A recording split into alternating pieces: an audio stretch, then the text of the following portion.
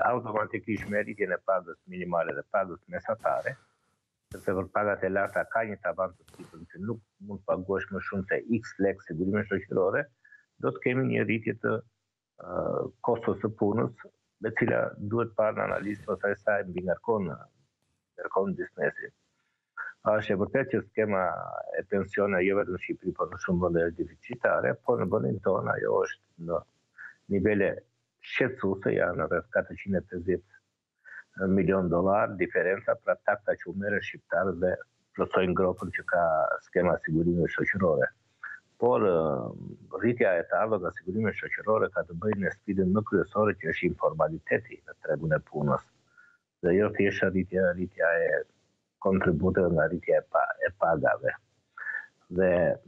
duke e bërë rrugën më të shkurtër neglizohet ajo që është më thelbësorja, për të cilën ne jemi të qartë si ekonomistë, sepse Shqipëria ndërsa mbledh të ardhurat në tatime në TVSH dhe është afërsisht sa vende të tjera të rajonit, në mbledhjen e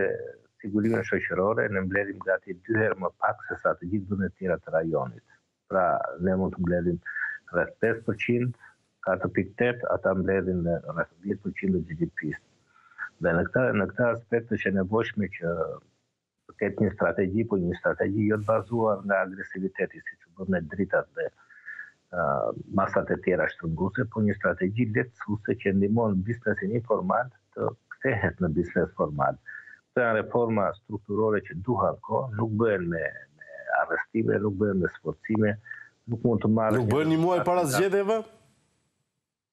As, ajo as që nuk diskutohet fare, që të gjitha këto premtime nuk duhet të kishin ndërhyrë në zgjedhjet vendore, sepse zgjedhjet vendore janë zgjedhje administrative dhe qeveria nuk duhet të marrë pjesë fare as në premtime dhe as në angazhime.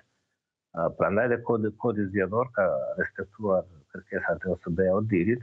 duke ndaluar që katër muaj para zgjedhjeve të ketë ndërhyrje me premtime keqpërdorim të administratës publike apo të fondeve publike në qëllim të një fitore, qoftë administrative apo parlamentare.